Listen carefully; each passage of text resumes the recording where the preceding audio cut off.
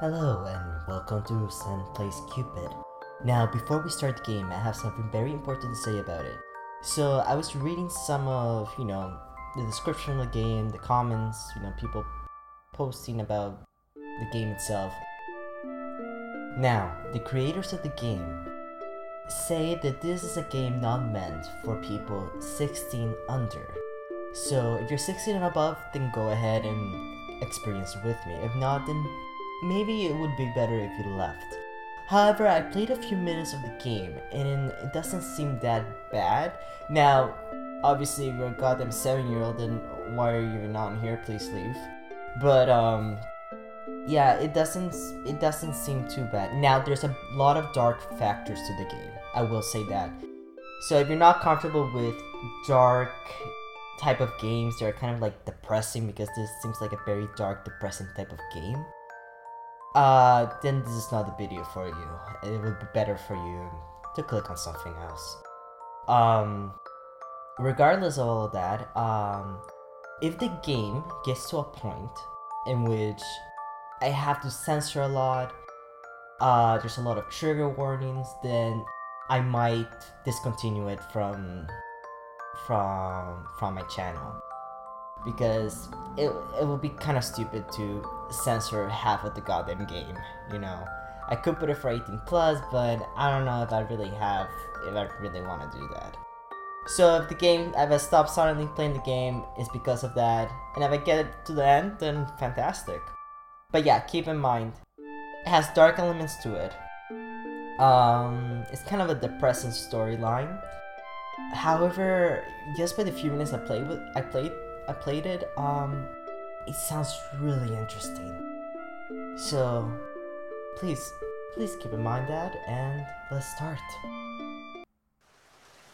I love you. I love you. I love you. I love you. There's no need to explain. It's only natural. A mother loves her daughter more than anything else in the world. He hates you, doesn't he? The whole lot of them despise you, don't they? Chasing you into the forest and gouging a hole into your leg. All because you smile at their husbands. And you know what? You deserve it. You freak. You disgusting, horrible, filthy little girl. Didn't I tell you to stay away from them? You never listen. Serves you right for being the dirty girl you are. But you don't have to worry, my darling. It's alright. Even if the whole world wishes you dead, I promise you this. Your mother will always be by your side. My goodness, child, whatever has happened to you? A girl was slumped in the doorway, soaked by the rain. Her legs were covered in dirt and blood. She lifted her head upon hearing the priest's voice and stared at him with blank eyes. Bless me, Father for I have sinned. She hobbled forwards, her blood, her bloodied leg giving away. Automatically, the priest rushed towards the, to, steady, to steady her. Years of spiritual training had prepared him for the most unexpected guest to this church. he sprang into action. He urged her to a pew, brought her some clean clothes, a clean cloth, an antiseptic and began to bandage the wound on her leg.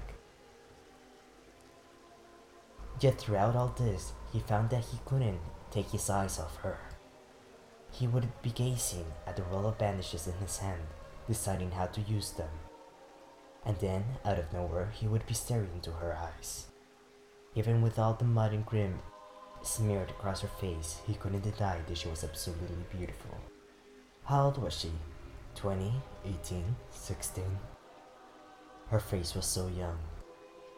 The priest had long since aged past his desire for the opposite sex, but somehow, something about her erupted him. When he realized his own thoughts, he quickly steered his mind towards the matters. My child, what happened to you? He seemed to take all the time in the world before responding. He looked at me. Looked. He looked at me and he touched me. And then and then he started to kiss me. At first, the priest didn't understand. Then he realized with the oath of anger what she meant. It was happening more and more often nowadays. The young men of France these days were spirited, uncontrollable ruffians. A lady walking home by herself at night would be prey to, to a few numbers of them. Lust, one of the seven deadly sins, the one that the priest personally despised the most. Furrowing his brow in some what? Furrowing in furrowing his brow in sorrow, the priest laid a hand on her thigh.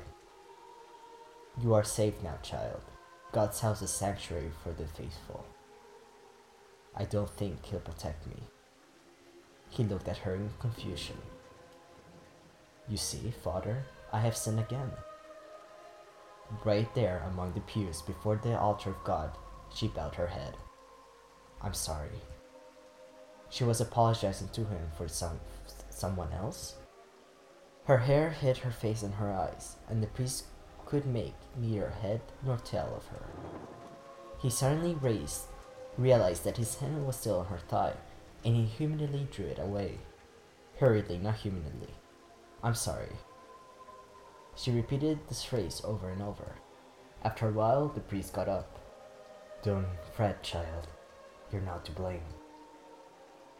Will, I will contact the local constable, but in the meantime, you are free to make yourself at home here. I will teach you. I would fetch you a hot drink. I just woke up and I cannot see what I'm reading. He patted her hand and left to go back to the room. She remained seated on the pew, her head bent forward. As the priest's footsteps faded away, the entire church fell into silence.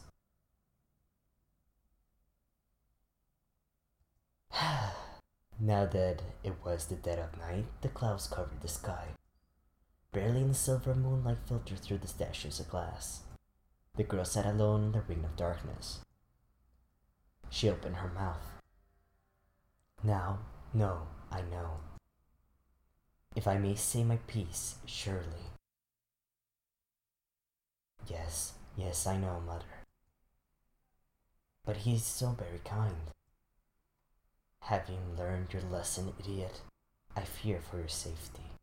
You know, whoever this mother is, is kind of a bitch, to say the least. So, um, I'm not gonna go for being even more of a dick to you, okay? I feel so bad for you. I fear for your safety. Child, follow mother's words and leave. You saw the look in his eyes, didn't you? You cannot stay here. Even a man of God can stain you with the filthiest colors. Be a good girl and follow mother's words.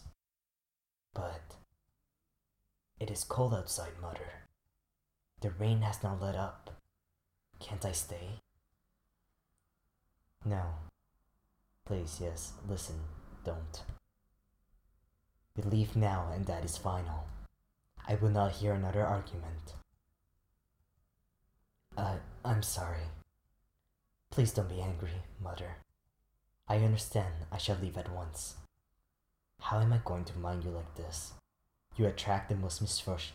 You attract so much misfortune everywhere you go. This is all your fault, my poor child. My stupid little girl. Always a blight, aren't you? Whatever will you do without me? I'm sorry, Mother. Thank you for always guiding me. It is all my fault. The girl sat in silence. Mother was right. After all, she was always right. Everything was her fault. Her, her fist shook with a mi- mixture of fear and conviction. She had to do penance. Mother, give me strength. There is something I wish to do. The girl rose from the pew. In front of her was the altar, and on top of the altar was a was an ornamentally decorated cross. It was a white it's a I can't read. It was as white as her head, and the tip of the cross had been crafted such that it was razor sharp. Sharp. She left the pew, knelt briefly, and then walked over to the altar. Don't tell me. You're quite sure you're doing this? The girl's arm trembled ever so slightly. What other ways is there for me to be to atone? She picked up the cross. Oh, my darling daughter, mother is proud of you. Slowly, she brought the sharp end close to her face, so close that it hovered just above her left eye. And then she